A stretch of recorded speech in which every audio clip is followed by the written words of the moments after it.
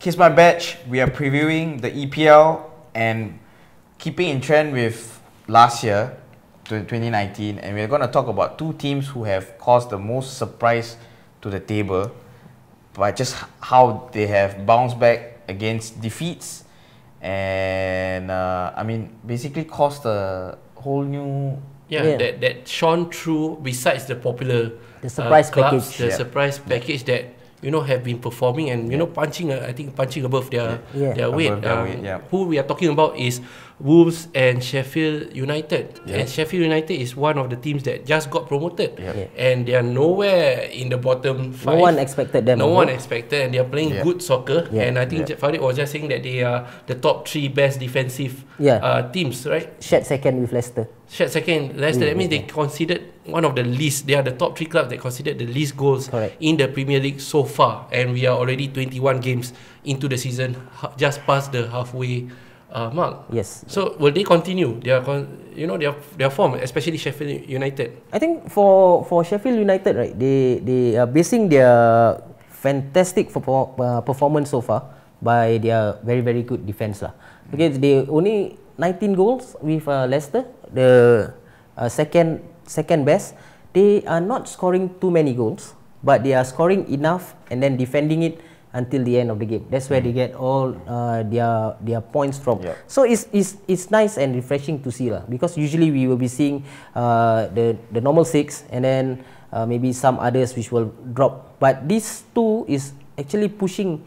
Uh, with if Sheffield uh, United can actually go to fifth because with the inconsistencies of uh, Manchester United and uh, one more is uh, Spurs, Spurs. Uh, they can actually took over. So Sheffield United, I think if they can uh, finish in the top 10, uh, which location maybe slightly higher, 7 or 8. But they, I don't think they can reach, they will reach uh, 6 Yeah. or 5th. Hey, notice he never even mentioned Arsenal. Yeah.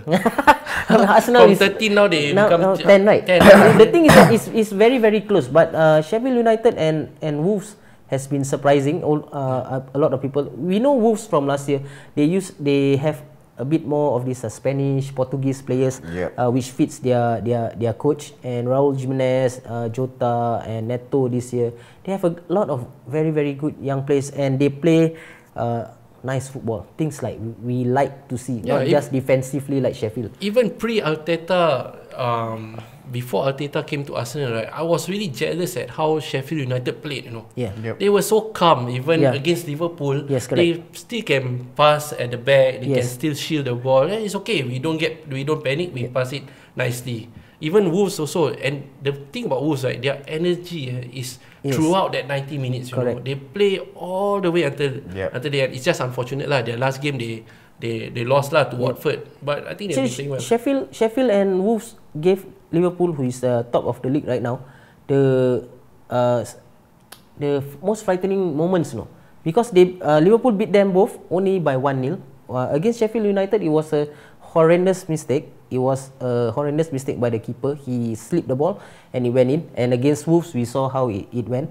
It to me personally, it should have been at least a draw, not a loss to Wolves because they they did prove that they can come back, but luck wasn't on their side, and they were only playing one and a half days after their defeat to Man City. Yeah. So and there was even talk that uh, Arsenal would take the Wolves manager Ah, to, Esprit- to yeah. what Espirito? eh, What's his name? ah? I don't know. He's just got a yeah, beard, yeah, yeah, Yeah. uh, yeah, beard yeah, and yeah. white hair, Yeah, beard. and he seems to be uh, connecting with the players. Uh, Because very, he's Spanish well. lah, Yeah, basically yeah, the yeah. Spanish gang lah. Yeah. Never heard of it. No, sia. but but al- also uh, if you if you take a look closely, right, these two teams, uh, especially Sheffield, right, they've had a good uh, mix of fixtures. As in the fixtures list have been very kind to them. Uh, they don't have a run of uh, Yeah. strong teams. That's at what one time. they they always have like a in betweens. Like they do well, and then they probably lose or draw, and then they'll probably win the next one. So it's because they are facing teams that are inconsistent. So it, it Ah, I see. is your is your fixture list to also be blamed. I mean, I mean, of course, It plays a part lah. It It plays, plays a a part. part. Yeah, yeah, it- it- yeah. yeah. So for Sheffield, they have like a easy sort of uh, he- he- neither here or there kind of feel. Hmm. Uh, and then of course, like Arsenal suffered. In fact, if you look at Arsenal's coming upcoming fixtures, you have a tough run to to to meet. You have like you got Man City soon. You have Chelsea again. Sheffield United. We we also one game at a time. we, we also So same, I mean, I mean, uh, the fixture list has been kind to these two teams. Hey, but look, looking at Spurs, the last four games, uh, it has been kind to them also, but they can't even get more than four points. no, that, that's why that's we in the during you know the early days when we started this, Mm. when Spurs were just losing and losing and Yeah. losing, and we we were saying that you know the dressing room has no unity, no teamwork. Mm. It's just proving the same thing. Jose Mourinho can come and and Yeah. try to gel the team, but he's no miracle worker. Yeah. We all know that like he cannot pull emotions because this guy has no emotion. Mm. Jose Mourinho is not an emotional manager. You know what I mean? Mm, he yeah, yeah. plays with his mouth. Like he only talks. He has no heart lah. He only talks about it with his mind. Mhm. So I feel like at this moment, whatever crisis Spurs is feeling, any manager can come in. They can't be rescued. They probably have to sell the toxin in a way. So, so you think that uh, okay, going back to Wolves and Sheffield United, Yeah. right? They they should be see they should deserve Europa action after this, after this season. No, I Eu- no. Europa is uh, up to sixth Six. place, right? Sixth place So only. that means they have to contest with Ch- uh, Man United. United and Spurs. I mean, I mean Chelsea. yeah, and Chelsea, in in fourth right now Yeah. because uh, Chelsea uh, widened the gap slightly a bit Yeah, from yeah, Manchester United yeah, yesterday, yeah. but I don't think they are No, that level. But They at are least not top that 10 lah. caliber. Top ten, yeah. Top I 10 think maybe lah. seven or eight. Uh, yeah. they, they will be there. They will be disturbing the top six. They will be disturbing top six. They will be taking points away from the top six. Hopefully not from us, but uh, I mean, look at it like Sheffield United. I do like from ten and below, right? You see the you know the Southampton, you see the Newcastle, Brighton, uh, Burnley. I don't think they will push on. Like they are not. The, they are the chasing pack, mm. but I don't think they will push on to try to take the tenth position. So I feel like it's it's there for Sheffield to take. For Wolves is the best they can probably get is where they are now, like seventh mm. Yeah. position, because you still have teams like Arsenal, Everton, and Crystal Palace who have that caliber. They they are usually Yes. at that spot. I mean Arsenal further up, but but Crystal Palace, Everton, they are the usual seven, seven position, six position.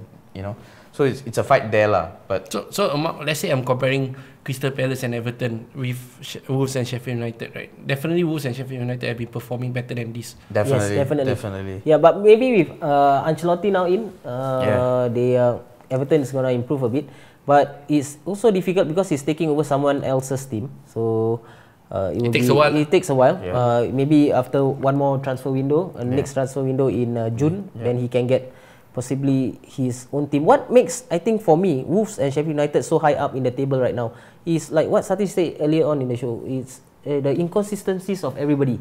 So that's why they they they uh, they can somehow uh, be up there. They are hard teams to beat. Although now Wolverhampton Wanderers just had two losses in a row, but they had only uh, for both of them, Sheffield and Wolves, only five losses per season, this season. The Yep. same as Manchester City.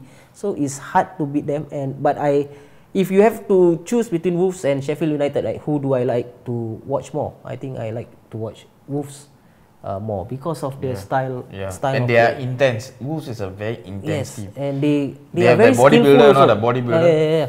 Adama Traore. Yeah. You saw how he was four years ago. Yeah. He was like me, and then he becomes like him. Yeah. but with muscle lah, muscle. fat lah. that fellow was so small when he was Yeah. at Barcelona, and then and he was saying in the interview that it was all natural. Yeah. So, yeah, yeah, steroids. Yeah. spurt. We, we smell we, We smell- we smell the bullshit. Yeah, we smell bullshit. Natural lah. natural.